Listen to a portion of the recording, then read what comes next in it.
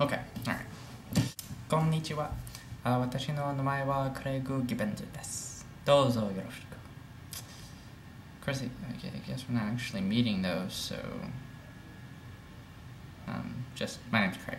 Um, oh, wait, I'm just, I, I start recording and I go blank. And right when I stop recording, I have a lot of funny stuff to say, and I'm just like, you know, really talkative. And then I start recording, and then I just like, I'm like, gosh. Uh, first vlog, and I forgot what I was gonna say. It's not going well. So I'm studying abroad in um, Tokyo uh, next year, and uh, I'm leaving in a month. So uh, I thought I might like document my adventures in Tokyo and elsewhere. Hopefully, I don't know. This is my actually Japanese homework. This is what I should be doing right now. It's uh, it's all blank.